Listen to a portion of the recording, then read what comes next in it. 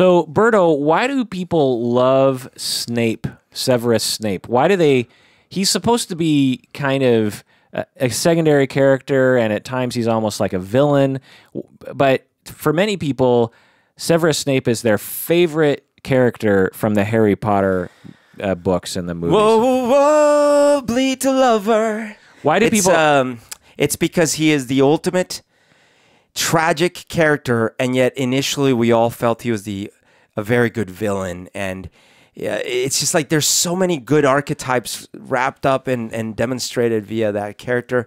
He's also, um, I, think the, the as it was portrayed in the movies was done so well by Rickman, and so I think the people that read the books uh, probably felt like myself felt fell in love with uh, the complexity of that character and just how much we didn't like him and then how much we grew to understand the all the things we didn't understand.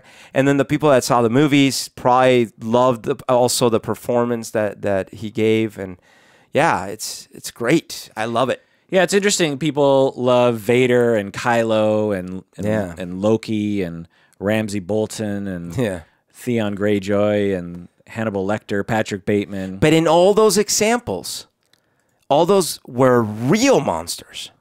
Yeah. And and Snape defies those expectations. Right. And I think that we love these characters, or some people do, because they hold a lot of power. You know, all these characters yeah. have tremendous power. They almost yeah. seem untouchable. And Snape had a lot of power. Yeah.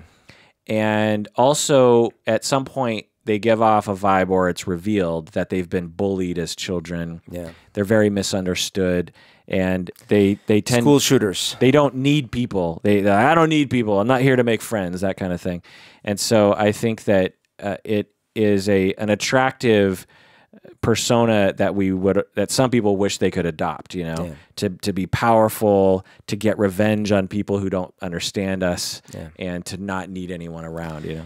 And by the way, initially, uh, by the way, spoiler alert and all these things. Um, but initially, he was a very good. Uh, way for us to have something to root against without fully showing all our cards. Yeah. You know. I looked up some Snape memes online and there's one where a bunch of Alan Rickmans are on a plane and they say Snape's on a plane. and then another one where uh, Snape is looking kind of sad and they and he's or he's angry and he's like Stop whining. You know nothing about the friend zone. so that's what I want to talk about today. I want to talk about the psychology of Severus Snape. What do you say, Berto? Let's do it. This is the Psychology in Seattle podcast. I'm your host, Dr. Kirk Honda. I'm a therapist and a professor. Who are you, Berto? My name is Humberto Castañeda, and I own a small apothecary shop in downtown Seattle. So, a little caveat at the beginning, as I always say whenever we go into stuff like this, is there are super nerds, Harry Potter nerds out there, and there are, you know, sev- seven books with lots of words in it and lots of details, mm-hmm. and we're, we might get some of those things wrong.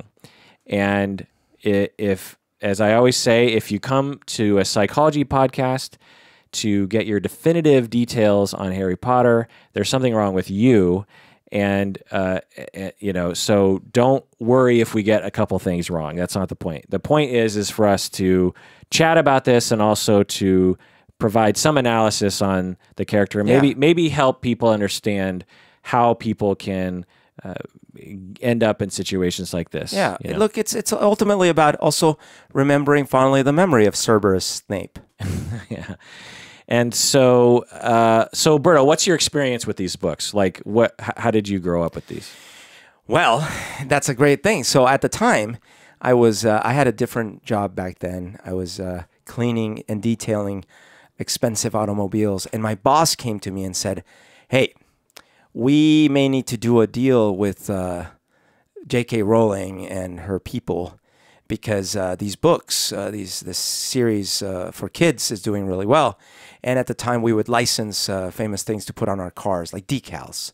And so I thought, okay, so I was given the first three books to read as homework assignment by my boss.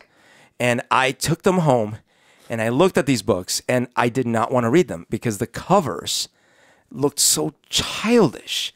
So you hadn't you hadn't heard of them before? I hadn't heard of it and I looked at it and it's like this little awkward kid in a broom with glasses flying around And I- don't know if you remember the art of the original books, but it wasn't that inspiring. It was sort Yeah, of well, clunky, you know. yeah, yeah. The the art Uh, for all seven books were by the same. Yeah, but but I felt like once I got to love it, I, I but when I first saw it, I was like, okay, I don't like this. Well, it made it look like a very second-rate child's book. Yeah, totally. So I was totally against it, but I sort of had no choice. So I sat down and I read that first book and I was hooked, man. Then I couldn't stop. I read the second one. By the time by when I started, only the first 3 had been out. So that's why I had those 3. I read the first one, the second one and the third one like back to back. I was so en- engrossed in them. And because I read up- them Did you end up doing work with them? no, unfortunately, we didn't. But it was that was the research we were doing that we would potentially have led to putting decals on Rolls Royces. But anyways, I uh, I loved the books and I love those first three books so much because I read them right one after. It's like binge watching on Netflix or something. So I knew all the little details and I saw the little uh, recalls from book two and book three that that harkened back to things she laid down in book one. And, And you, you're not so a excited. and you're it. not a big book reader. Well, not anymore. When I was a kid, I read a lot more, and nowadays I read a lot of graphic novels. Yeah. Uh, and then what? And then So then, I every time a new book was coming out, I was uh, right there waiting in line, getting my book. I didn't get them signed or anything, but I was always trying to get the book right away, and I would often stay up all night. so you would have been in like your mid 20s up to your 30s reading That's these books. embarrassing to admit, but uh, I was certainly not a two-year-old. Well, I, I think I think a, a lot of people were, uh, you know, uh, of adult age who liked it.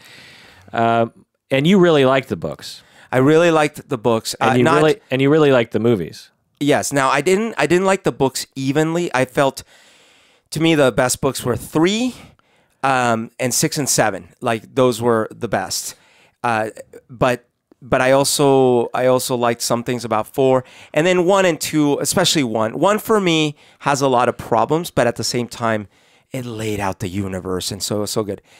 When the movie started coming out, oh my gosh especially that first movie like i actually i remembered feeling mixed feelings about the first movie but i rewatched it recently and columbus got so much right with that movie Yeah, totally. oh my god Well, the the first book I remember when I when I was reading it, I remember thinking, "Man, this would be a great movie." yeah It's almost like Rolling or Rowling.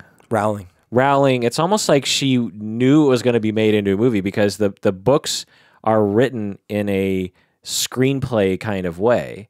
So much so that when I saw the first movie, I was like, "Well, yeah, of course that's what it looks like." yeah Everything looked exactly the way I had it in my head, Incredible. except for Harry Potter himself. oh really Yeah. oh okay i actually uh, what was different about harry potter The the the real Harry Potter in my head, the Harry Potter I had in my head looked like the guy in the front of the book. oh a little nerdier Uh, yeah, thinner and bushier hair. yeah The if you look at uh, Radcliffe's hair it, Yeah. throughout the seven movies, it's like every movie they tried because his hair changed Yeah. drastically, and there was one hair where it was like puffy out on the sides. Yeah. and it was like they kept trying to make it right, and Yeah. it never looked right. His hair looked ri- ridiculous, and every Hermione was spot on but they changed their hair a lot too but but it was always within the realm of my imagination. Ron Weasley, spot, Perfect, spot on. McGonagall, spot on. You know, everyone was like exactly how I imagined them to be. Dumbledore was a little. Le- I, in my head, Dumbledore was much more epic. I guess. Well, I felt that the first Dumbledore was like that. Yeah. But then, unfortunately, not the what's his name, Ed or something like the the new Dumbledore. Great actor, and he he really did pull it off. Yeah.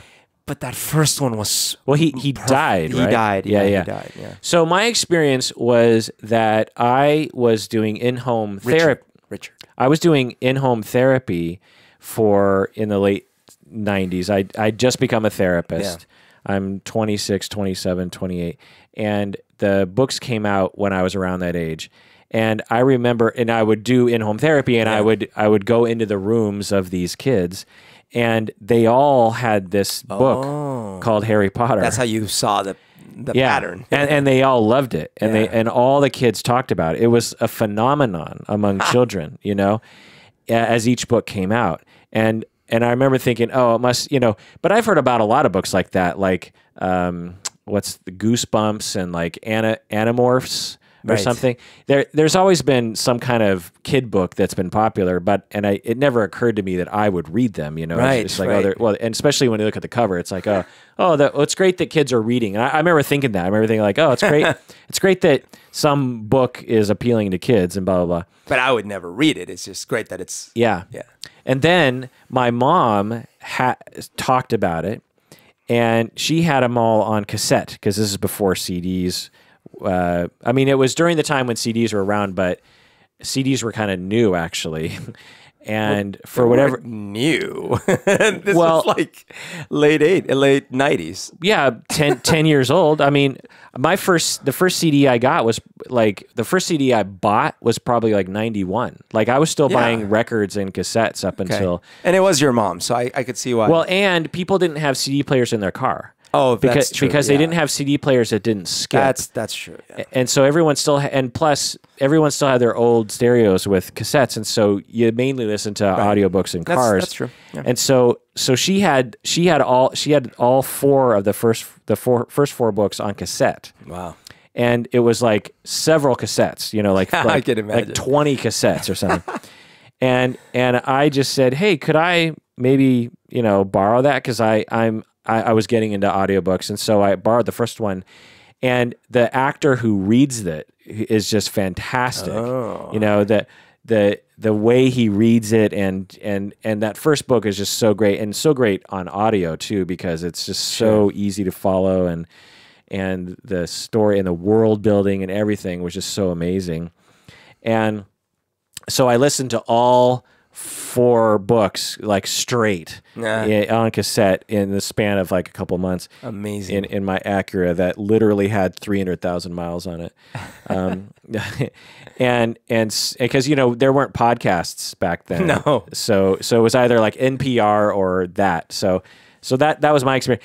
So, um, yeah, uh, for me, and then eventually as each, as each book came out, I, I would listen to the audiobook. I, and I never actually read the books, but yeah, I, but listening is equivalent because you you got the extended story, not just the movie. But I think one of the problems with audiobook is that w- with more complicated stories is as the books, you know, as four, five, six, seven, it gets a little bit more complicated. Oh. There's more characters. Yep. There's more things to follow.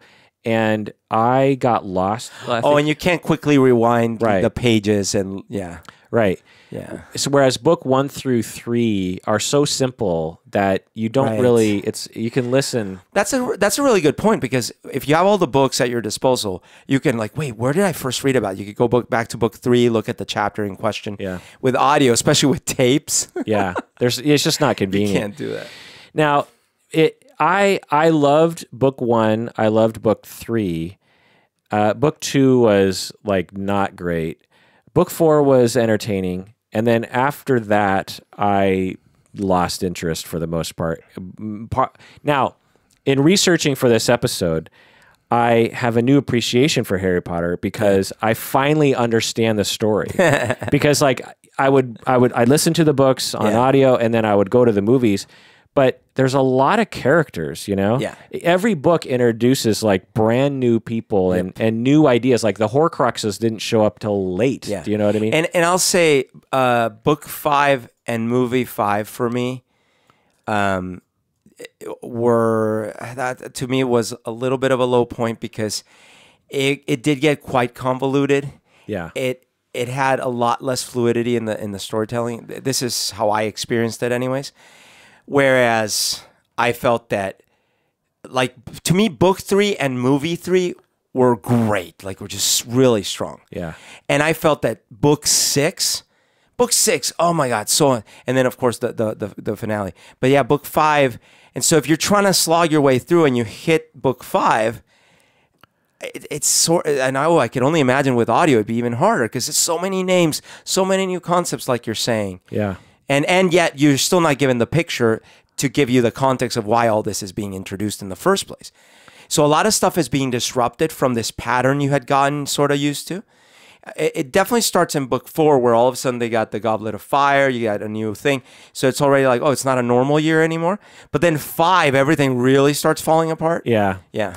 And it also bothered me that she had to follow a certain format for every book, right? She she had to follow a school year. Yeah.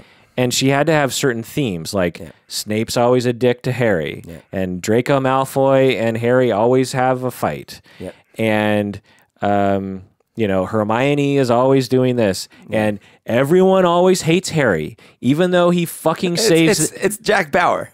yeah, even though at the end of every book he literally saves the universe. Yeah, yeah. And and yet start right back up next year. Everyone hates him. Petunia hates him. Like Yes. it just it, it just I get it, you know, because it's a it's a children's book. Yeah. You you have to follow the format. You can't like, and that's what kids want. and and that is in fact what what made it feel familiar because you remember that was the school year when I was when we were growing up, right?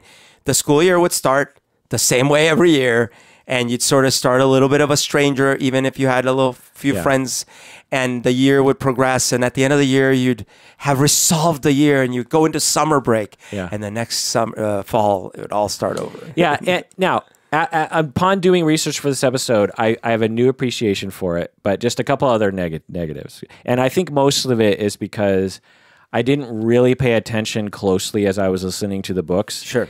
So one of the things that, and, and a lot of the negatives came out for me.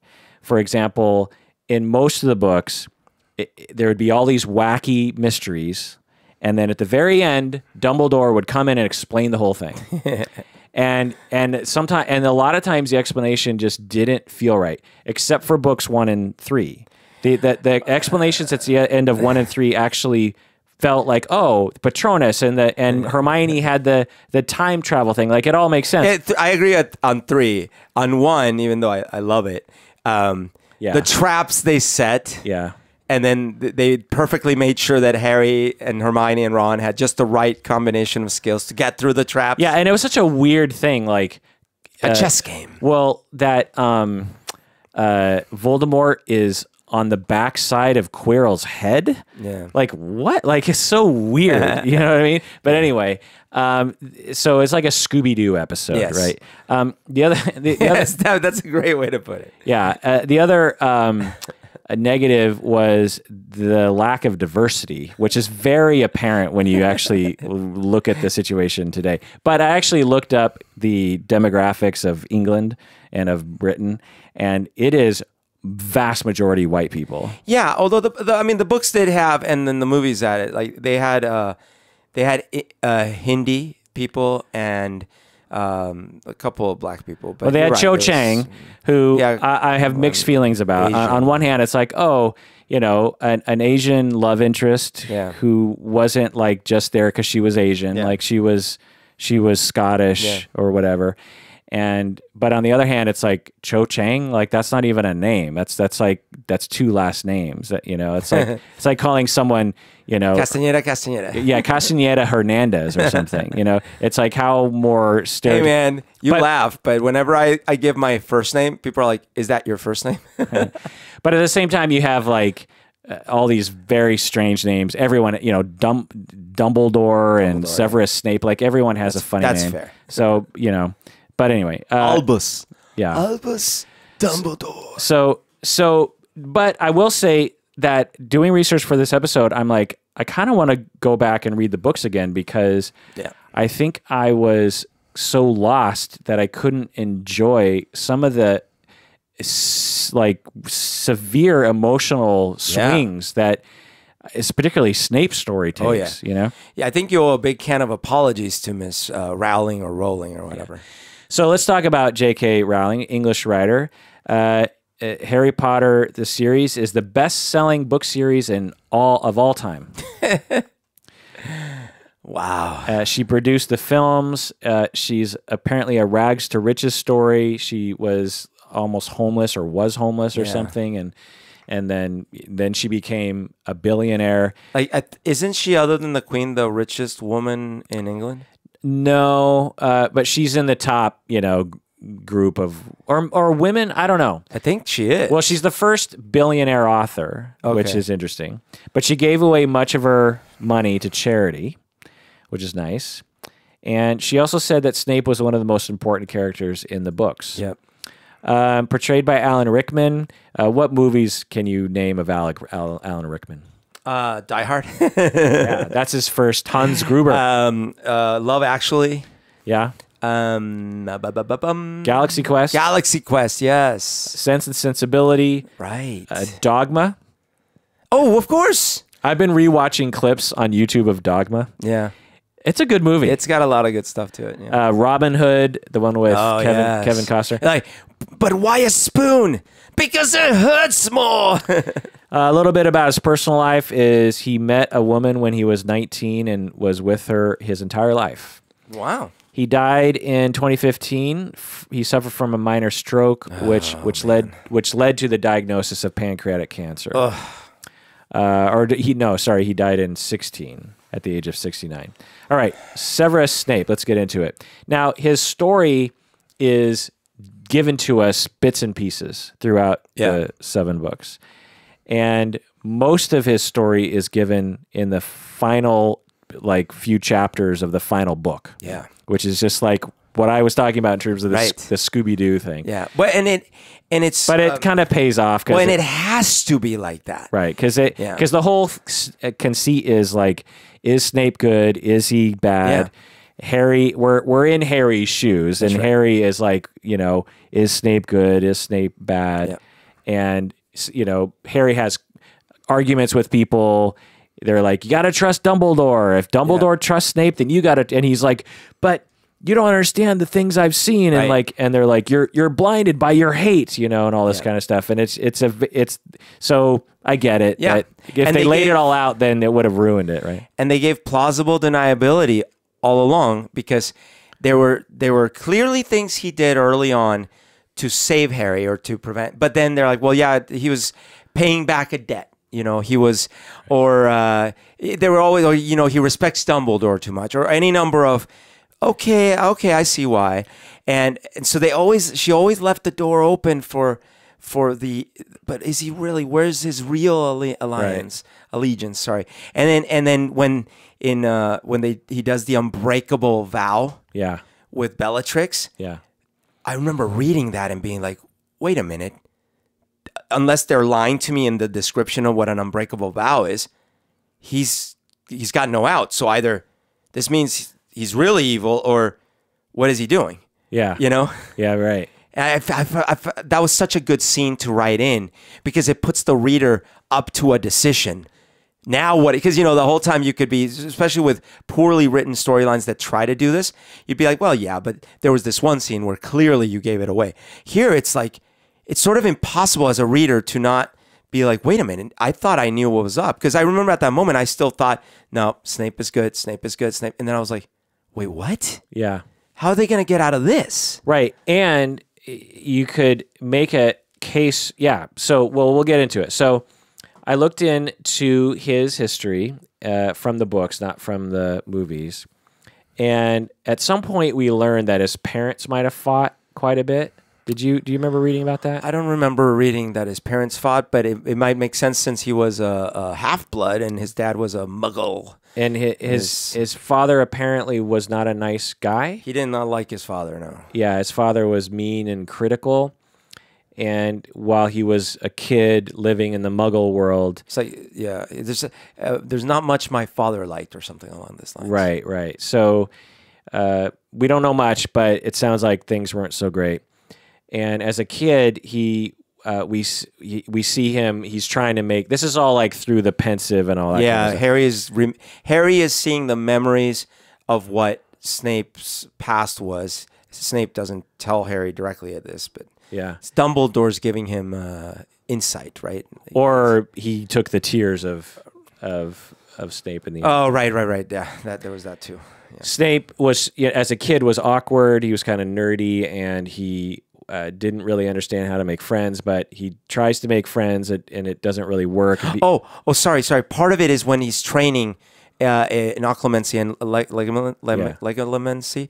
is that remember he accidentally or you know he gets into Snape's head. Yeah. And then at one point, while Snape's not there, he goes into the Pensieve and all these things. Yeah. And and he gets in trouble for it. But Right. uh, yeah, that was part of it too. Anyways, sorry. Yeah, yeah. So as a kid, he is rejected by other Muggle people and called a freak.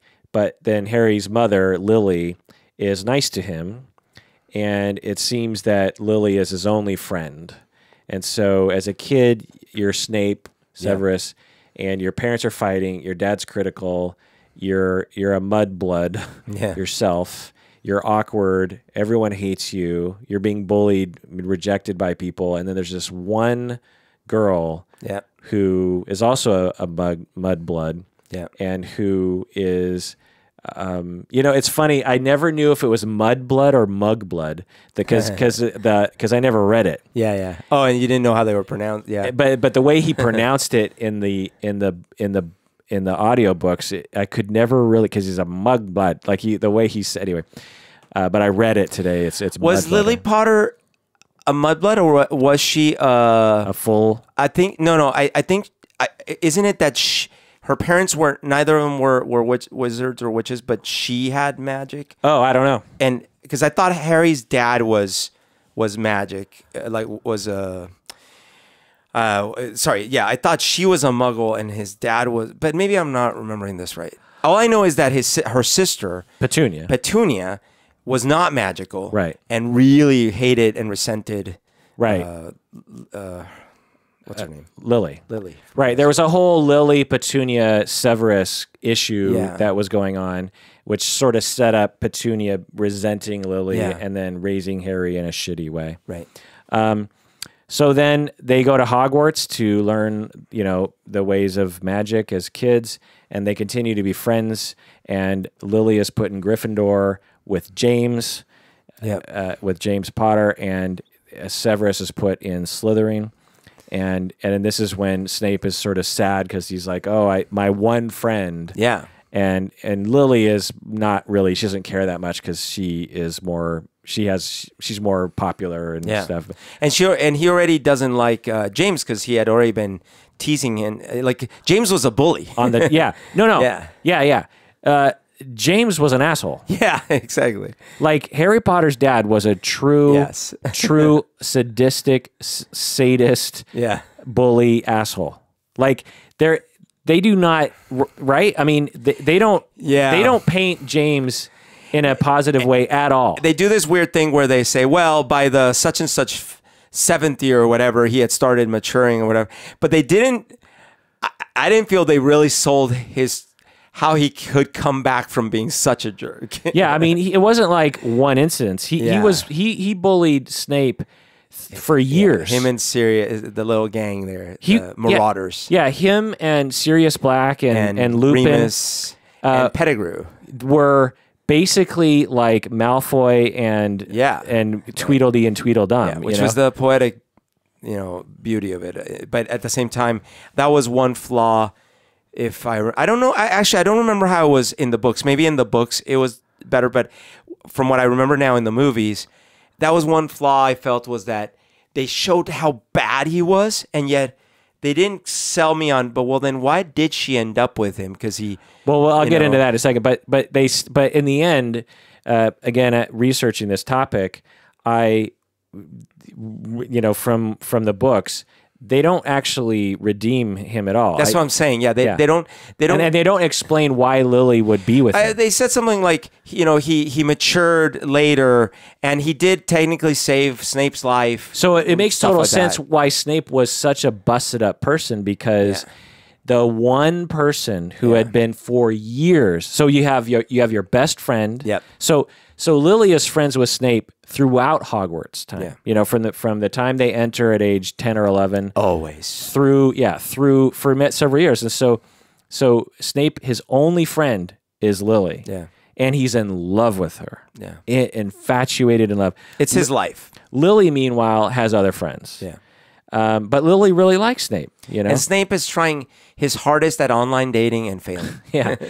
And so, uh, meanwhile, James and his and his other bullies are tormenting him. Yep. Uh, humiliating him in front of people, Yep. hanging up um, upside down to show his underwear, Yeah. making fun, and then and then the the and then this one thing happens where uh, James is you know doing this thing to to Snape, and then Snape doesn't um, uh, know what to do. And and Well- Lily kind of gets a little smirk, like she gets a little. She's Lily's trying to defend Snape. She's Yeah. like, James, back off.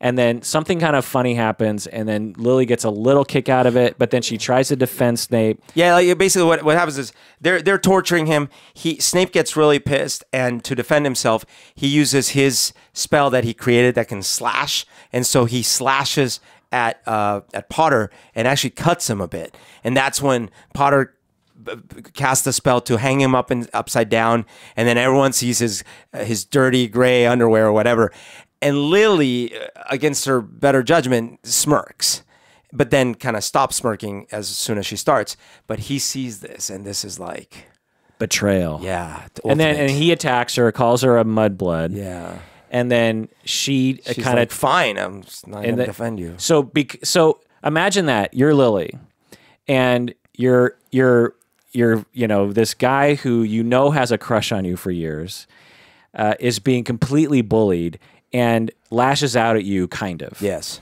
And then you're just like, fuck that guy. yeah, And not only fuck Snape, like screw him, I'm not gonna. he- She completely rejects him. Yeah. Snape goes to her, begs her to be friends again. He, she's like, no, Too late. too late.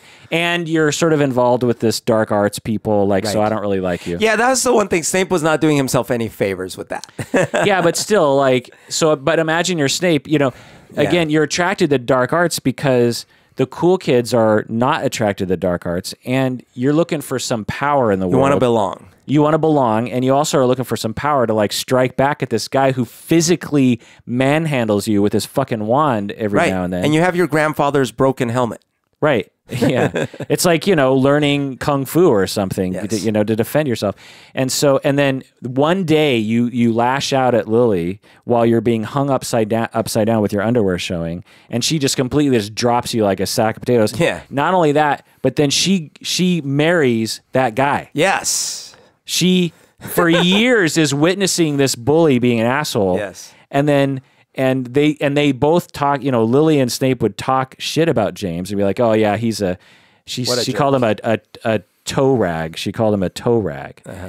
And then lo and behold there and so imagine so that's the beginning of Snape's psychology. Right.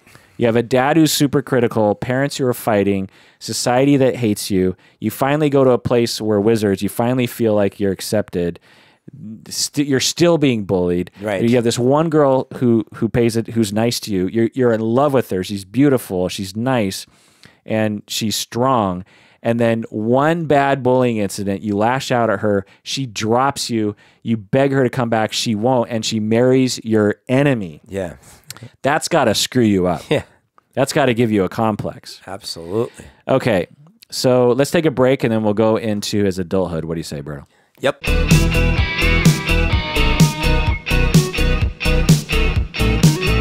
All right, we're back from the break. If you haven't become a patron of the podcast, do so now. Go to patreon.com, become a patron of the podcast.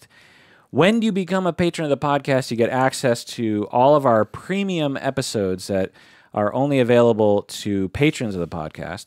You also don't have to listen to ads for the most part. All right, let's get back into this, Berto. So you should add yourself as a patron. So Snape is now an adult and he's got a lot of baggage. He's got dad baggage, he's got Lily baggage, he's got James baggage, he's got society baggage, Yeah. um, Voldemort baggage. Voldemort baggage. Um, so he is uh, he becomes a Death Eater under Voldemort as an adult. By the way, do you know that his Boggart? I just found this out today because I was also reading up. Um, his Boggart is Voldemort. What that Meaning mean? the Boggart is the thing. Uh, do you remember where they had the closet in the second movie? Uh, sorry, in the um, in the third movie. Uh, yeah, uh, where they open the closet and this Boggart takes the shape of the thing you're most afraid of. Ah. And like for for uh, Neville, it was Snape, and for Harry, it was um, it was uh, a, pot- uh, Dementor, and uh, and so forth. For for Lupin, it was the moon, right? Well, they don't show us this, but I, so I don't know how we found out, or maybe it's somewhere. But it sounds like for Snape, it's Voldemort. It's for Snape. It's Voldemort. Yes, that's the thing he's most afraid of. Why would he be afraid of Voldemort? Well, because it, it's think about it this way: for the entire time we know Snape, he is having to play double and then triple agent, Oh, and occluding his thoughts from Voldemort at all times. so you're sort of skipping forward in the story. Like Yeah. I'm talking. to, He just enters adulthood. So Yeah, no, but I'm I'm saying that like uh, at this time, Voldemort had already been a thing, right? So. Um, So Death Voldemort, Eaters. Voldemort has been around a long time, Yes. correct? So he's sort of like hundreds of years old or something. Yeah, and so well, not hundreds because Dumbledore he was a kid when Dumbledore was younger. Oh, okay. But but the point is that his the main thing had already happened, so that's why they had Death Eaters, right? Like that was there was already a cult of Voldemort, right? So he was already uh, developing this obsession with that stuff. Voldemort. Uh, Snape was, So explain to me was so Snape is an adult. Yeah. And he wants to become a Death Eater. Yeah. Is Voldemort alive at this point? yeah, because he's and he- gaining power. And Voldemort has he ever died at this point? No, He's never died. no, because remember he dies when he tries Yeah. to kill Harry. Yeah. Right. So so he's just sort of living his first life Yes, as an And older gaining power. he- and he's gaining power. Yeah. Okay. and he is older than Snape and them because he already, he already went through school before that. But he's not as old as Dumbledore. He's not as old as Dumbledore. So he's probably like 50 or something, Yeah, I don't know. 40 or something. Forgot, uh, Okay. lost track of the. Um, okay, so Voldemort tells Snape to go to Hogwarts and spy on Dumbledore. So that's why uh, Snape becomes a teacher at Hogwarts. He wouldn't have done that normally. Yeah, Why would he want to go back to the place that he was bullied so often? Right. Right. But he goes back and he tries to become the dark arts person. He's rejected and he becomes the potion master. Perhaps Dumbledore knew about something like I wonder if it's like Yoda with, or you know, like the, like I sense some darkness in you. So yeah, right. Because it seems like Dumbledore would have detected something was up with Snape. Right. You know, um, and Snape learns the prophecy about Harry and or about Longbottom coming to uh, destroy Voldemort, and he tells Voldemort about the prophecy. Which causes Voldemort to figure out who it was, and Voldemort goes, "Oh, it must be must be Lily Potter's kid." yeah, And then Voldemort is like, "Okay, Snape, thank you. I'm gonna go kill Lily Potter and Yeah. her and her family now." And and and and Snape is like, "Holy crap! What? like Like the save Lily. right? The prophet. I, I, you know, I'm trying to serve you as the my master. I tell you this prophecy. I had no idea it was going to be about Lily Potter, Right. like the one person on this planet that I actually like. You Right. know." And he begs Voldemort to not do it. Right. And Voldemort's like, "Don't be stupid. You know, I'm gonna. Of course, I'm gonna do it. This this this kid is gonna kill me, or you know, you know, the the prophecy, blah blah blah." So Snape is in this decision right now. Yep. Snape is like, "Well, I could co- I, I could become full evil right now and just be like, well, I guess that's the way it's gonna Them's be." the breaks, and you know, but and he would have, except for one person? Lily. like, Right. If it was just uh, Potter or the son, the child, he would have. Right. It's so it's interesting to look at Rowling's story in these like moments, right? Yeah. Like what it you know, what if Snape had just let go and just Yeah. said, Okay, fine, I guess that's what's gonna happen.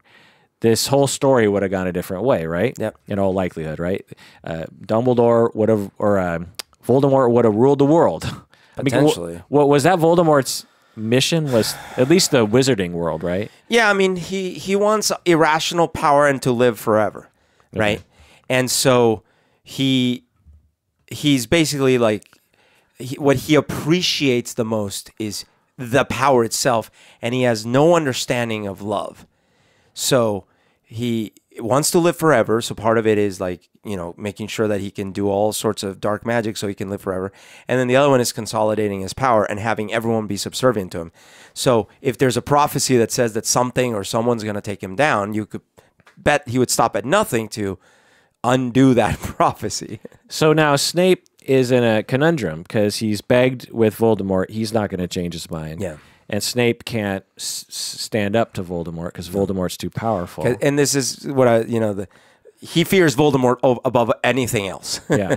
And so it's like, what does he do? Well, he does something that he never would have done in another situation. He goes to Dumbledore, and he's, you know, he says, "Please save, uh, save Lily."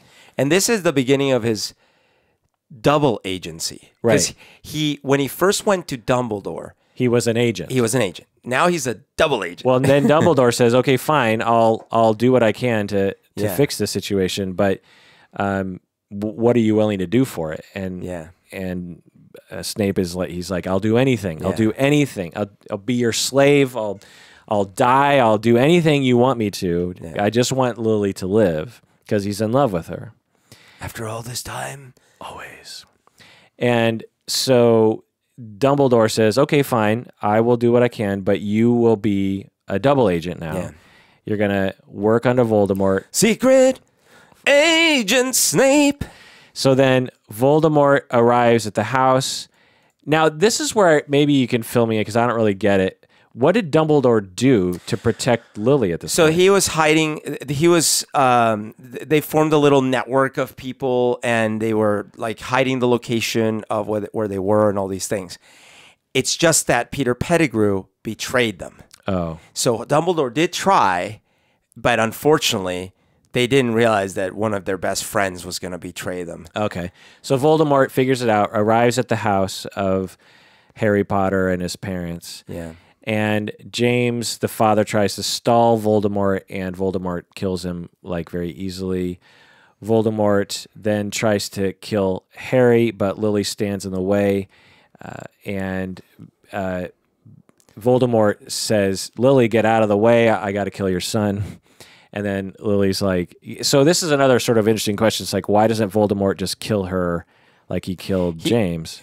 I mean, he was he he was trying. I I feel like he was trying to do what Snape had asked him to do, because he, Right. That's what I was thinking. It's like it's like, well, I one of my most loyal servants will be. Ha- all I need to do is kill the kid, I Yes. and if I keep Lily alive, then I'm fine. You know. So so that was, but they didn't really explicitly say and that. and and it's interesting because at the time, he wasn't yet as monstrous as he was to become. Voldemort. Yeah. And he hadn't actually yet in fact, if I'm not wrong, I I believe Harry was only like the second Horcrux or third like he was he was not yet the Voldemort that was the full beast. So then Lily casts some spell that says that if she sacrifices her life, then it'll it'll She didn't cast a spell. She just gave her life up to save her son. And that magic of love Oh. made it so that it put a, charm. protective charm on Harry. and then Voldemort tries to kill Harry. And that, yeah. That backfires and and almost kills Voldemort. And as far as anyone knows, kills Voldemort, but he he lived. And and by the way, the reason he lived is because of the Horcrux stuff. Like if if he didn't have Horcruxes, and if in fact Harry hadn't So I don't become need- a Horcrux, Can you explain the Horcrux? Yeah, so there's this super, super, super, super dark magic, which is that if you kill someone in just the right way and with a very important object around or something like this, part of your essence can go into that object. So it requires that you murder someone, Part of your essence. part of your essence, the person doing the killing Why would you want to do that? because it, when you do it, um, it has one very, very big side effect, negative side effect, which is that your essence starts getting diluted and you become more and more monstrous. But the pl- the positive is that if they kill your body, they still haven't fully killed you because you still have part of you in these other objects. Uh, this is him living forever. That's part of how he wanted to live forever. So I listened to all the audiobooks, and this is the first time that I've understood and watched the movies, by the way. The, I don't Is know there if- something wrong with me that no, I? I don't know if the movies make it clear enough, but I remember, I, I mean, I read those two books twice, I think, and you know, Is it is it possible that I was paying you know close enough attention to the books and the movies, and have the whole Horcrux thing go over my head. Yes. And and yet the Horcrux thing was the whole six and seven book. Yes, right? but I think that the way the movies play out, you sort there's a lot of detail you don't have to understand in order to enjoy those movies. I still, but the whole they're searching for the Horcruxes Yeah. and blah blah blah, and and I just remember being like, what are the what the fuck are the Horcruxes? Yeah. And like and like And- the midway through book seven, they still don't even know where they still don't even know what all the Horcruxes were, and I'm even like, well, how are they going to wrap this up? Right. And anyway, Well, and, and but that's just it. That if if you're trying to eliminate, you know, imagine it's Hitler, right? And we're like, we got to get rid of Hitler, and and you're told, yeah, here's the catch: he's put part of his essence in six other or seven other objects around the world, and if even if you kill three of them, there's still the other four. which is great. But why seven? It's so cumbersome. He it- was- It, would have been a be- I think a better plot if it was like one or two or three. But but Well- seven because because like can you name the seven Horcruxes? Uh, no, but Nagini, Harry, uh, the um, oh man, the one of the uh, the items from the house. Um, I think the Slytherin. But do you know what I The mean? It's like cup, it's like it it it, um, it got it, not only did the Horcrux concept go over my head, but then I lost track of all. Anyway, Yeah, no, you're right. But the reason there were seven is because I don't think anyone in history had ever done that. All the stories he had read, it's like people had done it like once, and he was trying to go for broke. Okay. so then, uh, so so Lily dies, James is dead, and Harry lives. Voldemort is gone and dead, as far as anyone knows. Diary, the diary was one of them too. Oh, okay. In in Chamber of Secrets. okay. The Tom Yeah, um, Tom Riddle. Riddle. Uh, Snape is first on the scene to save Lily. Did he? Is that why he arrived at the house, or just to see what happened, or something? Wait, when? When? What are you talking about? So after the dust settles, Har- Harry is still alive. Oh, yeah, the yeah, parents are dead. Snape is the first one to enter the house. Oh, is he? I didn't remember that. Yeah, or at least in the movies, anyway. I don't Okay. know. I'm pretty sure in the books And too. he finds Lily dead. yeah, and he is devastated, and Yeah. he holds her, and he's crying, and Oh, now I remember this. You're right. just you're a right. massive amount of grief for the Snapester.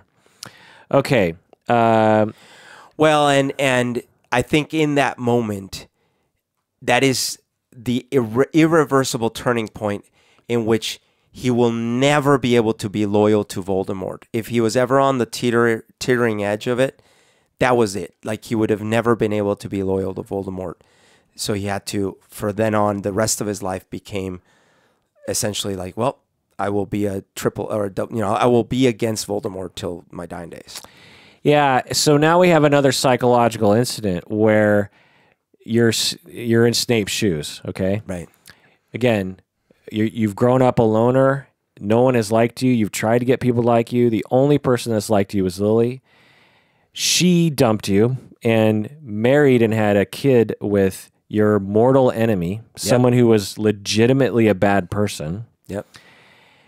And that's pretty messed up. But you still have just a, a you know a place in your heart because you don't have anyone else for this person, Lily then you're you go to the dark side and you have to be a little conflicted right Oh, yeah. because he's not evil he's you know he's only going there partially because he he's just trying to find a group of friends Right. to- and also people who appreciate him and also maybe to get some power so he can so he can protect himself against bullies like James and his and his crew and then that sort of leads down a road and then you're like okay I, I told i told voldemort about this prophecy you know. Snape's not a murderer but he's like kind of an accessory to murder at this point and he's so he's not i'm sure he's not quite so happy about that. And then he finds out that the the murder the murder victim is going to be lily herself. Yeah. and then he does everything he can to completely, uh, you know, prostrate himself Yeah. for Voldemort. That doesn't work. Then he goes to his mortal enemy, Dumbledore. You know, Mm-hmm. another person that's on James' side. He's, you know, Dumbledore's on the on that other side. Yeah. You know? and completely humiliates himself and and begs and does, you know, and hands himself over in a in a very humiliating, emasculating way, and and all of that doesn't do anything. Lily still dies. Yeah. And not only is Lily dead, but Voldemort's now gone. And like your entire, you know, like side of the fence is now falling apart. Oh, and and by the way, um, Voldemort, or sorry, Snape thinks it was Sirius Black who betrayed them, which explains why he hated Sirius. So Oh, much. interesting. And so he is now the reason why Lily not so not only did Lily so he's blaming himself for everything. Not only did Lily leave him in the first place because he struck out in anger against her. So he he's beating himself up about that. Why did I call her a mudblood? Why did I do that?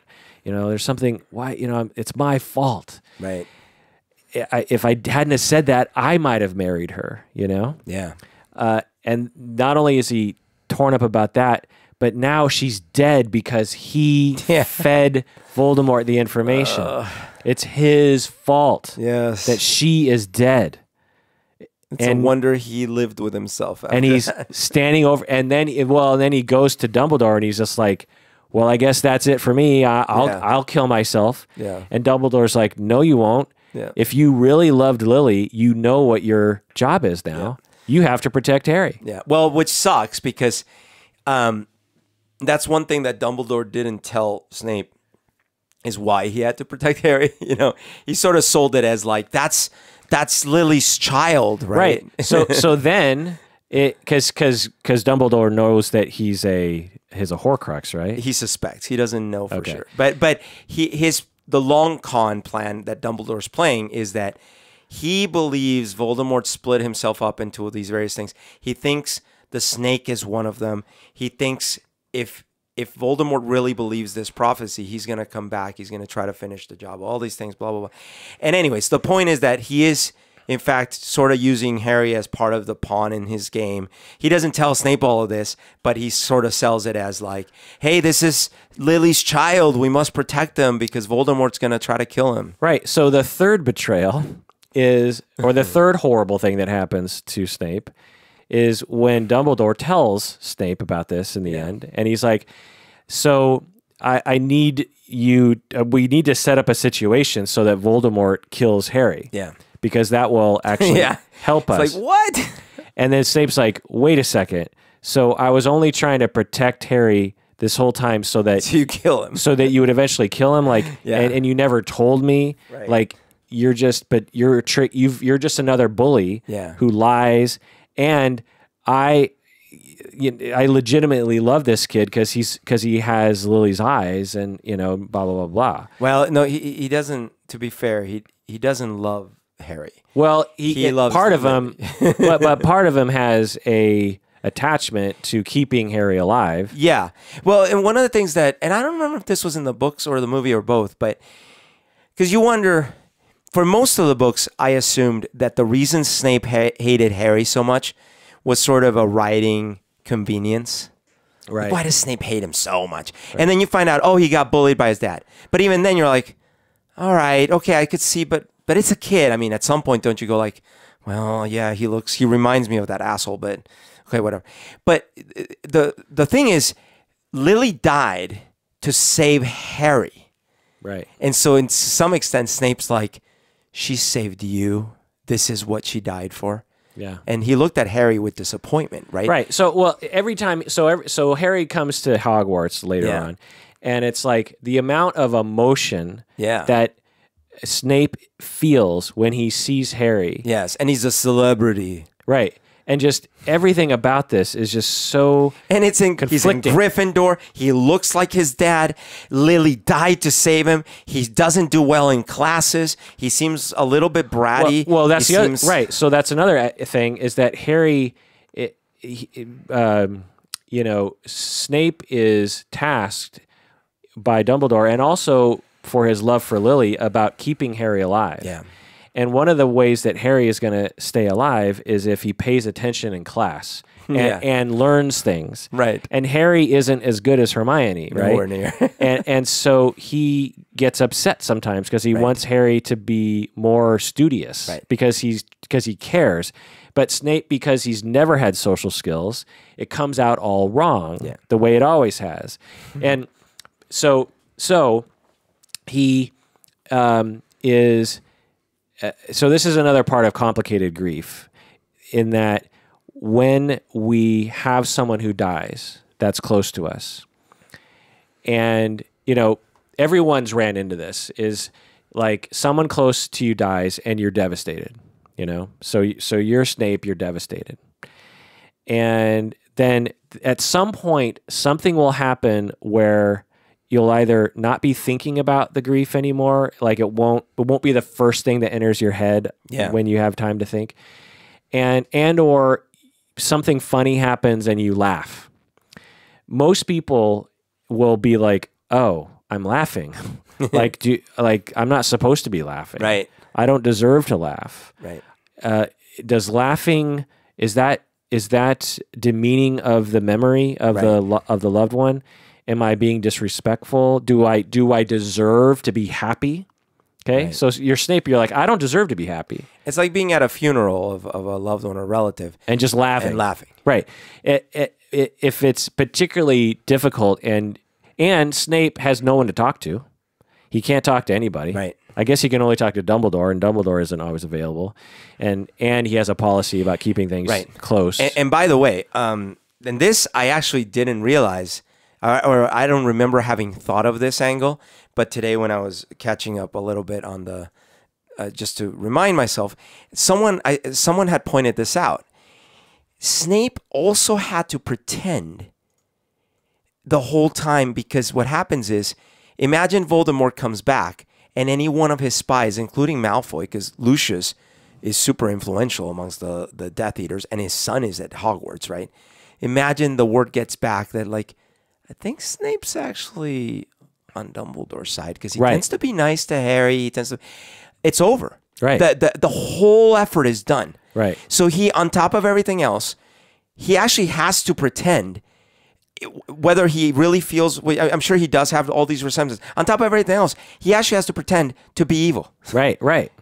And uh, this is something that maybe she didn't intend fully to write it th- this way, because I do think, even though she actually had the arc pretty well written out and she actually did a lot of back work before she even wrote the first book, at the same time, the first book, there's a lot of things in there that you that are written conveniently so that the first book works. Right. But but so whether it was intentional or unintentional, in the end, it's got a plausible explanation. Right. That's why after researching for this episode, I finally like totally appreciate Rowling's writing because Yeah. like if you just pay attention, if you're nerdy about it enough, then there are some very poetic things that happen very early on, you know, Right. from the from the first uh, class of the potions that Harry goes to and Snape is a total dick to Harry. You're like you know, I now want to read the books again because I because I want to like if you understand the backstory, Yeah. It all makes total sense. And by the way, it's not the kind of thing like in Lord of the Rings where, well, of course they couldn't use the eagles at this other time because if you read Silmarillion, page Right. six thousand and fifty, Right. I'm like, come on, man. right, right, right. So so there's throughout the books, Snape protects Harry and his friends like from Lupin when he turns into a werewolf, and he, you know, but he also like there's other times where he's super. He's pretty much mean to Harry throughout all the books. Um, Snape helps the good guys. He's in the Order of the Phoenix, but then you know some red herrings happen where it's like, wait, he has the the mark of the Death the Eater, mark. and you know, and you know, and and then he um, attacked one of the one of the Weasley brothers when they were trying to get He to Hogwarts. Yeah, but that was an accident Yes. apparently. and then you have like this Snape Sirius Black uh, you know, feud going on, but again, all that makes sense because Sirius Black was a total asshole to Snape yep. and and Sirius Black thought that or and Snape thought that Sirius was the one who betrayed to find Yeah, out where yeah. the Potter house was. so basically, other than Voldemort, Sirius Black was probably the second person in Snape's kill list. right. And, and James too, you know. Well, but James, James had even it, you know, like I feel like Snape had had gotten to the point where he would hate uh, James forever, but it's not someone he would have wanted to kill. No, no, no. Versus he would have wanted to kill Sirius because he he it was his betrayal that led to Lily's. Right. You know. Then, as you talked about, Narcissa Malfoy gives Snape the unbreakable vow that Is says it Narcissa or Bellatrix? Is it Narcissa? Narcissa. Oh, okay, okay. Oh, right, right, right. Because it's uh, right. She's related to Draco, and she wants Draco protected. She is Narcissa Draco's mom. I don't know. I think it's Draco's mom. Yeah. So she's like, "Yeah, I want my son protected. So you got to make this unbreakable vow." Right. So so now you're Snape, and you're like, well, if I refuse, then I I look like I'm like I'm Right. a, like I'm a double agent or a triple agent, and Right. So I guess I got to do it, and and and this is when Harry witnesses it. I think right. And I want to reread these now, and this is getting me excited. right. So the and the vow is to protect Draco, to help him complete uh, Voldemort's task, which is to kill, uh, you know, Dumbledore. And if Draco can't do it, then Snape has to complete it himself. and if you break an unbreakable vow, you die. Right. and so Snape becomes the dark arts professor and he uses the dark arts to save Dumbledore from the Gaunt ring and it and this is when it's revealed that Dumbledore's going to die soon anyway Right. and and so it doesn't really matter eh, Well, and we don't find that out till later. till later. But Maybe that- even the very end of the seventh book. but but uh, there was some hint because his hand was withering yeah. away. Right. So it's it's interesting. It's like Dumbledore would have died anyway. Yeah. Snape needed to kill, you know, either Draco had to kill Yeah. Dumbledore or Snape had to kill him. Yeah. And and Snape's like, well, it'll look better if I do it because then then Voldemort will really trust But me. I think I think um, Gandalf. I think uh, Dumbledore uh, says something about Draco's soul. Like Right. he doesn't want Draco. and and uh, Dumbledore's like, dude, you got to kill me. Like Draco, he's, a kid he- yeah, he's still a kid, and Yeah. he's salvageable. and he's got to finish his finals because he hasn't graduated yet. right. That was a whole other thing. It's like throughout the books, even up till like book six, they're they're still playing fucking Quidditch.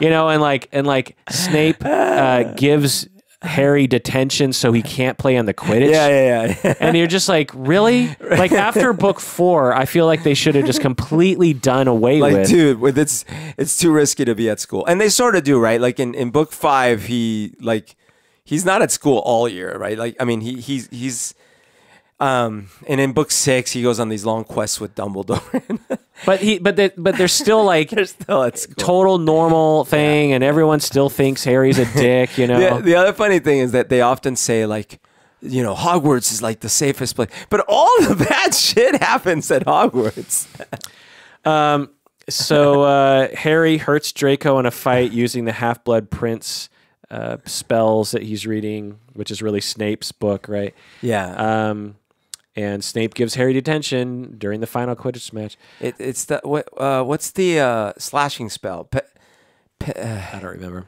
Uh, Dumbledore tells Snape that da da da. So we've already gone over that. Uh, Draco tries to kill Dumbledore. Snape kills Dumbledore himself. Harry attacks Snape. And this is an interesting scene t- here too, because at this point you're like, oh, Snape is evil because he just killed Dumbledore. I mean, is that what you thought? No, I, I, I mean, but it was.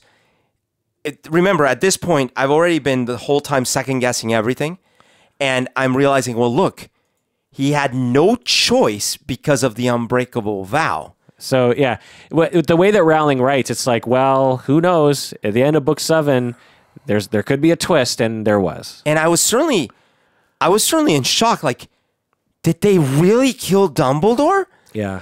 And then I was like, Well, I remember no, after Snape book six, be good. Snape has got to be good. I remember after book six, everyone was like, "Oh my god," you know, Yeah. because book six comes out, everyone's in line for overnight, right? And then everyone runs home and instantly reads the book, right? Yeah.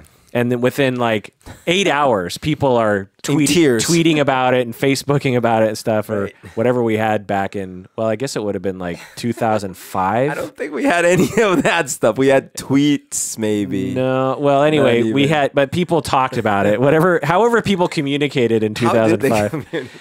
uh, MySpace. MySpace. They were MySpace. they were Friendstering. Um, they were kazaaing it, and people were like, "Oh my god!" And I remember there's all this talk about like about like um, Jon Snow. Is he really dead? Right. Maybe he'll come back. right? Yeah, yeah, no. I mean, people are like, "Well, no, G- Gandalf." I keep wanting to say he's not really dead, like Right. because of this. And, and there were tons of theories I remember, but me, I I was convinced he was dead. It's just that I sl- I both held hope slash had my little theories that that Snape was good and that this was somehow like on purpose. Let's take a break and when we get back, let's talk about the end of Snape's life.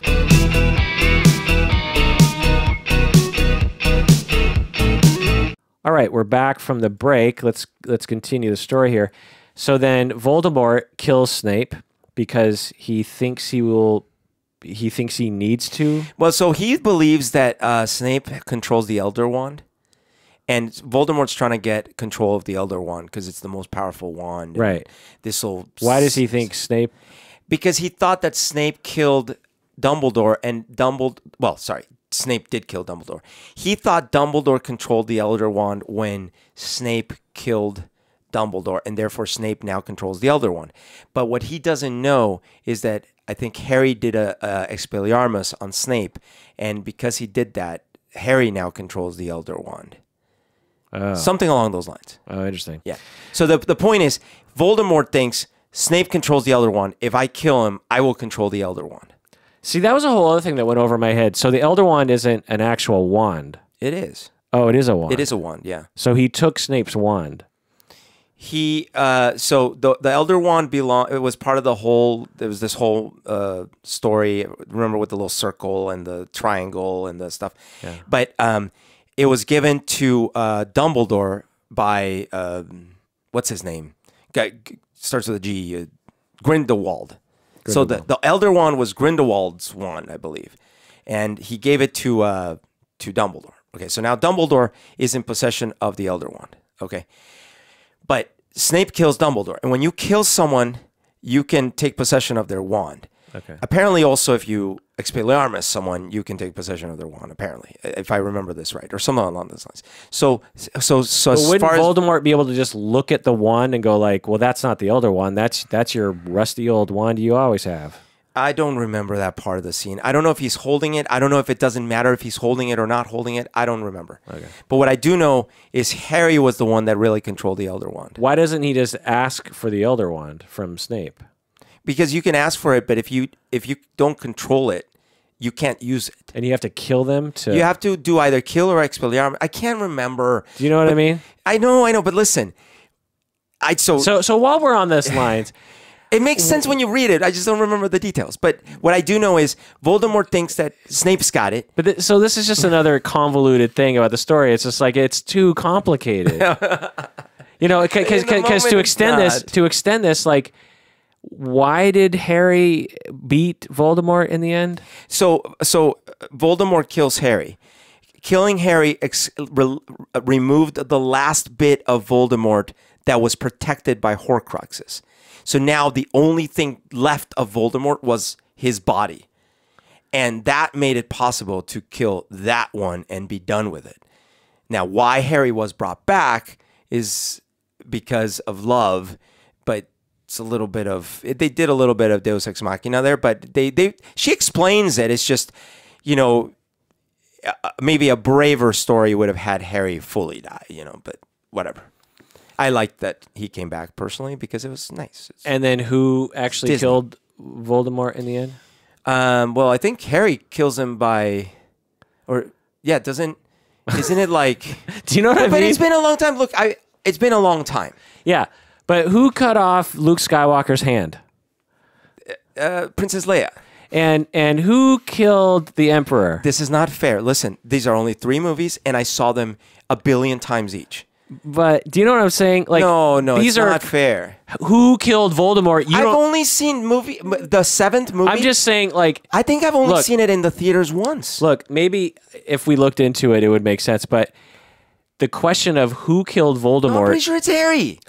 I'm pretty sure it's Harry. okay, you're right. It should be obvious, but also realize that the fact that we can't answer it is going to be used against us in a court of internet. Right? Yeah, but I feel like we've been pretty good up to this point. Well, yeah, but look, look, look. What I'm trying to say is the reason I can't quite remember is because, and I guess this goes to your point. There's a lot that happens in that last battle. But that one question should be pretty easy Let to me, answer. Let me see. Like so, so Voldemort kills Harry, and Harry goes to like Harry goes to this limbo place. Yeah, and his parents are there. His there. parents are there, but love brings him back because of the thing that they had caught. Remember, there was the little ball with the the thingy that Dumbledore with the Quidditch, the snitchy thing. The gold. No. There's all this stuff that magic. It's magic. yeah, yeah. And then and then then Harry walks, wakes up, and kills him. anyway, so Voldemort, Um, so Voldemort before this point kills Snape because he wants to be, you know, the elder. He wants the Elder Wand, and he has his snake bite Snape through the neck, which is pretty gnarly. Hold on. And well, let's Yeah, yeah, go through okay, it. okay, okay. Harry, Harry sees the whole thing. Harry runs to Snape's side as he's dying, and this is when Harry, you know, really realizes, wait, Snape's been good this whole time, Snape's been good. or or Snape's a good guy. He's the bravest soul. Well, then then uh, Snape tells Harry to look. In the book, Harry says, or Snape says, "Look at me, look at me," because he wants to see the green eyes. the green lily eyes. Which in the movie does he does he do that? yeah, Okay. and Snape cries, and then Harry he collects his tears, Yeah. and then after Snape dies, he goes and uh, sees the memories, and he learns the whole backstory. The whole enchilada. And this is when we learn the whole Yeah. backstory of Snape. And we learn that he was plagued with mixed feelings about Harry and his father, and that he's It is the epic Scooby Doo of all Scooby Doo's. and he's jealous and angry, and you know, and we learn finally that Snape is a an incredibly vulnerable, suffering, grieving, lonely, guilty, low self esteemed human being. And when you see it from that perspective, it all makes sense. I mean, the way that Alan Rickman pulls it off, and, and I guess the vision in your mind that Rowling sort of portrays, is that it's right on the line between is he a sadistic, unfeeling asshole, or is he so is he suffering so much that he's just holding it all in? And I think what we realize in the end is it's the latter. You know, Snape was suffering so greatly and he was so racked with guilt and and to some extent suicidal because of how bad he felt about everything and so put upon by bullies and society and you know he, he was bullied by the muggle world. He was bullied by the wizarding world. Uh, falls in love with this girl. She dumps him for the bully. Then you know he's trying his best and he causes lily's death. And then Dumbledore uses him as a pawn, and his, you know, and Dumbledore by the, you know, by the end of the books is like his mentor, his, his, you know, maybe the only other person, you know, he went from uh, maybe I, I have my mom, and then he goes to Lily, and then he goes to Dumbledore, and then Dumbledore also kind of betrays him, and then he makes Snape kill him. I mean, imagine what we haven't even talked about that. Yeah. Imagine if I told you you have to shoot me in the head with a gun Yeah. to and, and you're and you have no choice. Right. And there's no money involved. yeah. and and you know, that's gotta screw you up. Right. And even because even if you're like, dude, I'm dying, I've got some terminal disease. I, that's not. That only makes it. I'm I'm not. I don't know if it makes it harder, but it's sort of like, wait. First of all, I'm trying to process the fact that you just told me that you're gonna die. Yeah. Now you're asking me to kill you, Yeah. like in in a violent, like, oh Like my uh, god. uh, yeah, I'm gonna be awake. No, and, no, no, and I'm no, gonna no, no, see it it's coming. Ridiculous. Yeah. Now, um, That's by the way, gotta- I, that's gotta I think I just remembered, sort of. So, he, so Harry gets killed by Voldemort, eliminating the last Horcrux he could have uh, held, held on to. Right Did Harry know he was a Horcrux at this at that point, I think he had figured it out. So Harry knows he has to die. Yeah, I think so. Yeah. Okay. So then, but he's got that little, I forget what it is. It's like a little goldeny thing. There's something that protects him. So he dies, goes to a little funny place, but he comes back. And then they, don't they do the thing with the wands where he attacks and then the wands do the thing. And then all the people that Voldemort killed come back and overwhelm him. And that's how Oh. he dies. Oh yeah. Yeah, right. That's because love ultimately, this was the thing that Voldemort never understood is the power of love and blah, blah, blah. So something along those lines. I think you're right. Yeah. yeah. Okay. Years later, Harry names his second son Albus Severus after Dumbledore and Snape. and he uh, the kid grows up and is about to enter Hogwarts, Harry's kid, and this and Albus Severus Potter is worried that he's going to be sorted into Slytherin. He's like, "Oh no, am I going to get into Slytherin? I want to be in Gryffindor." and Harry tells his son, "You were named for two headmasters of Hogwarts. One of them was a Slytherin, and he was probably the bravest man I ever knew." Yeah. By the way, uh, one gripe I did have was that they always kept Slytherin House around, and they all pretended like, meaning the headmaster, everyone pretended like, do do do, it's fair, it's a fair system, right? But it was so not fair. You have one mean house, and the other three houses having to deal with this one mean house at all times the Slytherin headmaster was always mean to everyone else and unfair to everyone else. Yeah, I mean, I, I while going down this research rabbit hole today, there's a YouTube video that explains the origin story of Yeah. of the different how of of Hogwarts itself. And it, you know, there were two guys and two women. Yeah.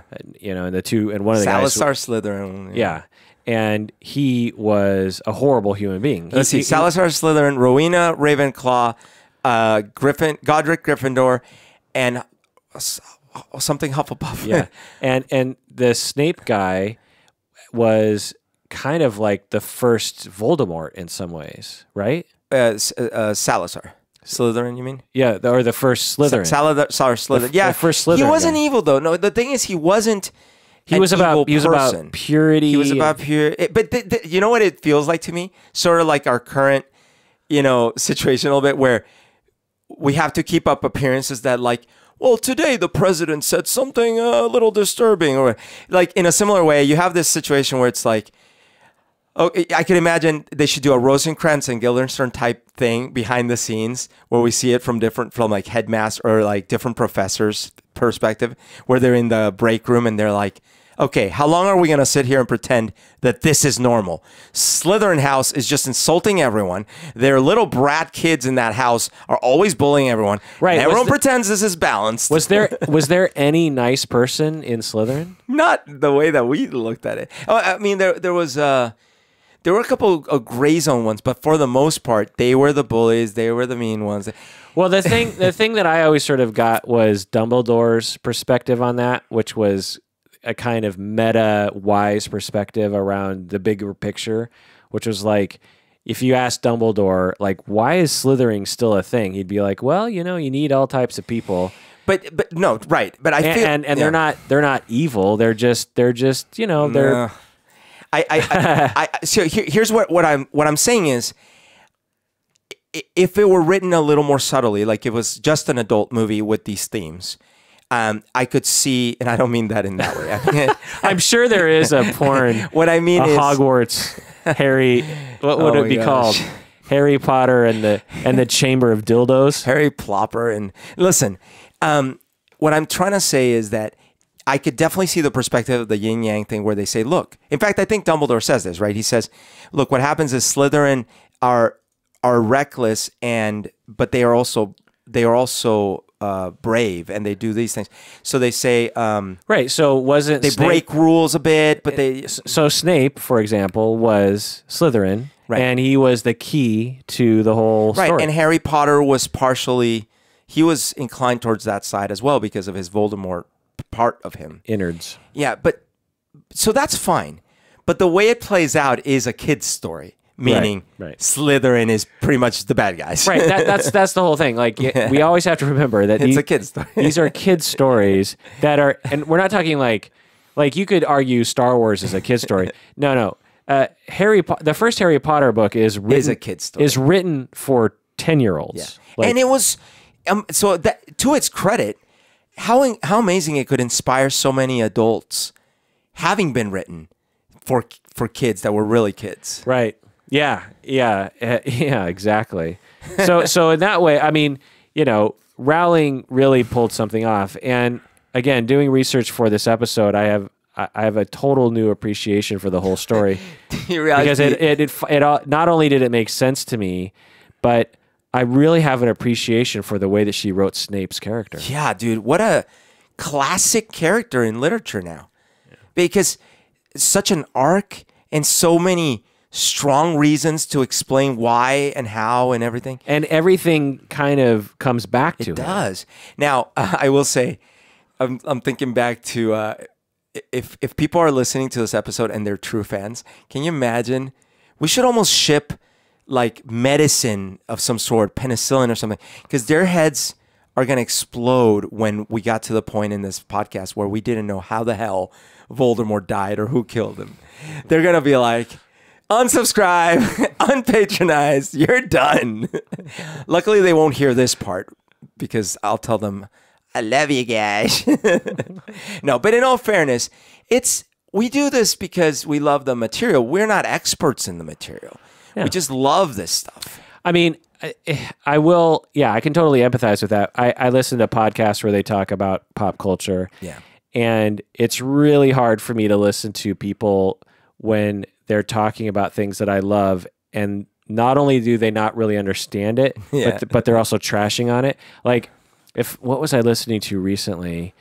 Um, oh, I can't remember. It was some listening to something. They were talking about some movie that came out recently, and it was a it was a movie that I liked. I mean, I, I remember thinking I, I didn't love the movie, but, but I remember and maybe it was the new the new Star Wars movie. I don't uh-huh. know, but they were talking about it like they barely understood it. They're like, so how many Star Wars? You know, for example, How many stars are there? yeah, how many how many Star Wars movies were there? And like how you know and Who it- killed Voldemort? yeah. Who, you know, wasn't there a Darth Vader character in another movie? I don't get it. And it's like, it, it's really hard to listen to Yeah, yeah. that. It'd be one thing if they're just like, yeah, I really liked it. And, and- but I don't really, you know, but it's another thing when they're, when they trash on something and they don't, be, because they, they haven't spent enough time with it. Dude, uh, many years ago, I, I think I told this one before, but I have a friend who we went to watch Heat, the movie Heat. Do you remember Heat? I love that movie. Yeah. And that, that holds up. And we're leaving the theater, and like, what'd you think? Ah, it's all right. I didn't like it so much. I'm like, what? How did you? Why did you? And then it's like, well, this this didn't this didn't make sense. Why did Val Kilmer say such and such? I'm like, oh, what do you mean? Because of this other thing that they clearly said, and then this other thing happened. Oh, I was asleep during that part. what? So they, they were blaming plot holes and things they didn't understand because they, they had fallen asleep. Right. Which is essentially what I was doing because I wasn't really paying attention That's to, fair, to yeah. the audiobook. But I'm saying like, and, and if you want to claim it was boring, so I fell asleep, that's fine. Right. But don't poke holes at things you weren't watching. Right. Like that's not fair. But I, I think it is a legitimate. I still think it's. I mean, because you're you've been super into the books and to the Yeah. movies, Yeah. and for me to just throw out a question, which you know, how Yes, how did fair. how did Voldemort die? And uh, now, granted, you're not as a super nerd as people perhaps listen. Or it's not recent. Like at the time, I probably would have listed out the whole scene. but But it didn't you- stick with you. You make a really good point, which is that, and partially it's because it is a seven book series, and those last books are massive. Think about that. Yeah. Kids' books. Yeah. And they're massive. Yeah, And way more readable. like how, like a thousand pages or something. yeah. yeah, And yet way more readable than the Lord of the Rings ones. yeah. So I will say. God, the Lord of the Rings books. I will say you make a great point in that if you ask me or if you ask anyone that's seen Star Wars once or twice about major plot points, or Lord of the Rings. I mean, like you know, there, it, like the the climax of the of the movie. Like, how does Sauron die? Birdo, how does Sauron die? the ring The ring burns in the fire. Right, the ring goes into the No, no, no. But see, I but I would I was thinking you were going to use Lord of the Rings as a also another example of complicated. there there are, Stuff. but but of the key moments, how does Sauron die? Okay, the ring burns in the fire. The ring goes into the you know you know I see what you're saying. It wasn't the sword of Gryffindor stabbed Voldemort through the heart, which, by the way, it might have been. Yeah, well, it, and I remember when I I remember when I read the books and saw the movies. I remember being like, man, you know, that was such a. I remember being disappointed by the ending because I was like, uh, it would have been so much cooler. It would have been so much cooler and so much simpler if they had had. If I was if I was writing the books, I would have had maybe either three Horcruxes or maybe just one Horcrux. Well, and, it, and, it, yeah. and the only Horcrux was Harry Potter, Right. and Voldemort doesn't know that. And somehow Harry Potter and his crew trick Voldemort into believing the Horcrux is something else. Okay. Yeah. And then and forget about the Elder Wand. Like that whole thing is just a red. Like who who cares about the Elder Wand? You know that doesn't really matter, right? And you just sort of make it so that Voldemort is dead set on getting this one item, and he's and he hates Harry Potter and wants to kill him. Yeah, yeah. Listen, um, you would have had a few less billion dollars as a result. I know. And right now, you just finally nailed the nails in the coffin of this episode because you basically said, but but but but because I remember well because I was into it enough in 2006, just before the fourth the seventh book came out. I remember being enough into it Yeah. at the time where I would speculate with you probably Yeah. and other people about like how this was going to end, and I remember really hoping that the way it was going to end was that Harry was going to die yeah, and and I remember everyone saying like, well, Harry has to die, like Yeah. that that just has because you know that has that just has to be the way it's ending, and then you know he kills Harry or Harry sacrifices himself, Yeah. to save someone else, oh, no, who- save everyone. Yeah, yeah, a- and and Harry dies, boom. You know, Voldemort explodes. Yeah. and every and then everyone cries, Yeah. and then they do a memorial, and then Hermione teaches at the school, and and they remember Harry fondly. Yeah. but but they but they did more of the Jesus arc, right? He, Harry had the worst everything, and then he dies and came back. now, I will say, so you, so I don't disagree with you that in the end it is a complex puzzle, right? But it was that kind of story. Right. It was that kind of story. No, you're right. It, it, it was very consistent of Rowling Yeah. to have a very complicated ending to a book in a series of books Yes. with very complicated Yes. endings. And so you are right to point that, like, uh, and and it's funny because I would have thought of Lord of the Rings in the opposite way, but you're right that it- when it came to how did the bad guy get defeated? Oh, they dropped a little piece of gold ring into a lava pit. That's Which, simple which they established from the beginning. Yes, like in chapter three Yeah, yeah. of the first book. and that's fair. And so they Gandalf says, Yeah. this ring has to be Yeah. destroyed. So, like for example, again, this wouldn't have made so many billions, but if, for example, in book two or book three, we would have found out um, the only thing that can defeat Voldemort is the sword of Gryffindor driven through his heart, but that cannot happen until we find out how he's staying alive. And then we find out it's Harry. Then Harry dies, and then stab, and then he dies. Okay, something simple, less billion dollars, but simple. Would it have been less billion I'm just using that as like, look, she Because- made, she made a lot of money with this did. complicated story. but but to me, I, I wonder how much uh, how much of the billion dollars was made by the world. yeah, and because like there's a lot of things that go into making something popular, sure.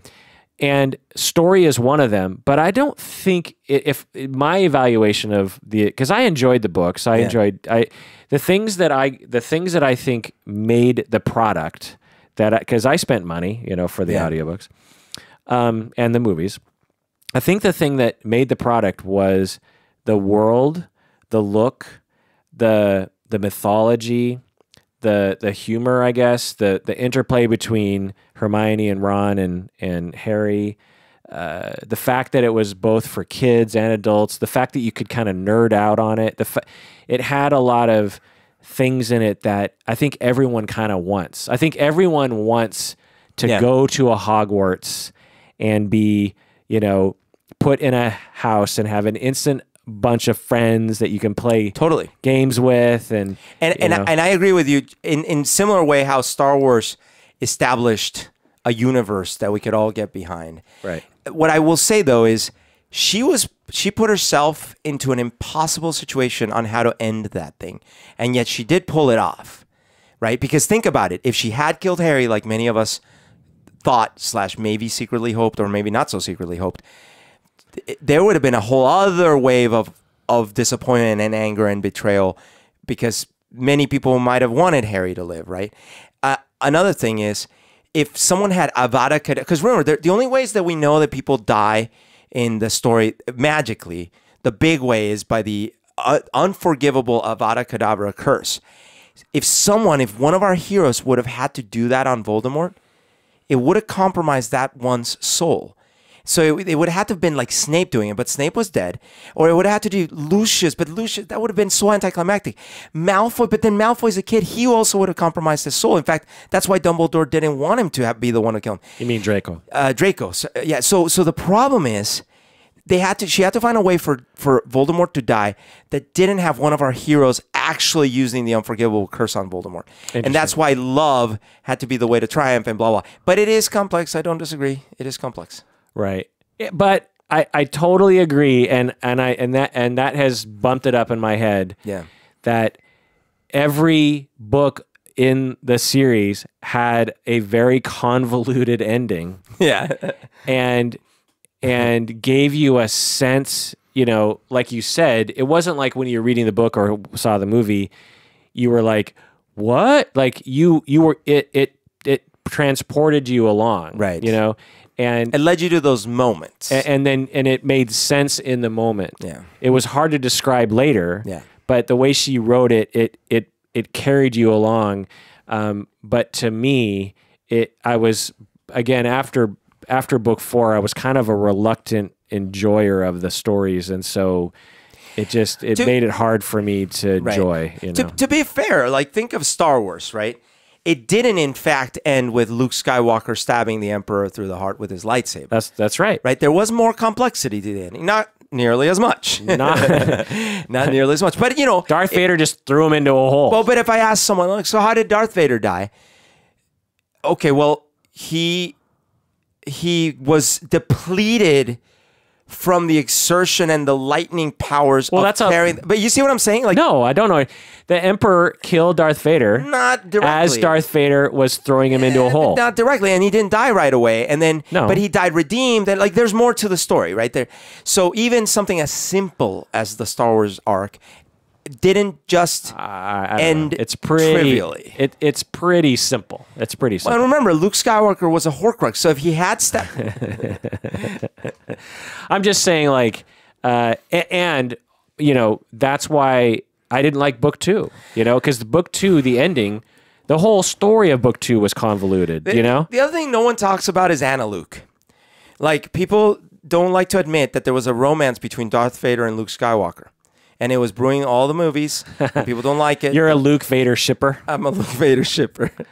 Yeah, I, w- I will say again, especially in in you know looking at Snape's character, that it really makes me want to read the books again uh, with this understanding. Yeah. You know, it's like seeing a um, like a movie like Inception again, or Yeah. you know, movies you watch it again and it or Arrival, for example, Right. and and it's like it's it's more enjoyable the second time because you know. You know the whole Yeah. story, and you're like, "Oh, I can see why that's dropped in there, and I, that all makes Yeah. sense." And da, da, da. Imagine if someone did make a movie from Snape's perspective, done in sort of a, a stylistic way, where you know you don't get a whole seven other movies, you get like one movie, but it's it's watching the whole storyline, but from Snape's perspective Right. in a condensed way, because you get these moments where he's not even in the main scene, but he's like, "What the hell are they doing now? Like I'm trying to keep this kid," and he's talking to himself, Right. like, "I'm trying to save this kid." Oh god damn it, right? And then he's like talking to Dumbledore, like, "Listen, man, I don't know how much longer I can do this. Like, I have to act like I'm upset the whole time. I'm Yeah. not this upset. I'm not this depressed." I, I, I, bet you someone's done this, but if they haven't, they should. Is someone should write a diary of Snape, Yeah, like you know, different diary entries throughout his entire life. right. And it turns out he was never that depressed. he was like, "Well, yeah, I liked her, uh, but listen, I'm not obsessed with her." But you know what I mean? It'd be so interesting because because to to have these entries of just like yeah, so you know Harry showed up today at, at school, and but that's pretty tough because Right. you know she he, he looks like James, and he also kind of looks like Lily, so. Boy, I got a lot of feelings on the inside, you know. Dear diary, um, complicated grief today. Yeah. Harry showed up. You know, I, I think it'd be And then he's like, and I had to cry these fake tears as I was dying so that Harry would think I was a hero the whole time. but I'm really Voldemort. I was Voldemort the whole time. Because what you don't know is I'm a 15th horse, Horcrux. All right. Well, that does it for that episode of Psychology in Seattle. Thanks for oh joining us out there. Please take care of yourself because you deserve it. So can you can you say it like in a Snape way or something? I could say it in a Dumbledore way because you deserve it. Always. Isn't there a better sort of way you could say it? I, I'm, I'm, I want to Harry Potter must not return to Hogwarts this year. do it The like Dobby. yeah, do it like yeah. Okay. Um, you dis. No, I can't. Like, that doesn't even work. Um, hey, Harry, you deserve it. It's uh, Hagrid. uh, so how does Snape talk? Snape's like, um, attention. No, I can't do his voice. It's such a. Alan Rickman's so good at this. It's like, you will find my class is very difficult. But it, that's not even right. Because. Because you deserve it.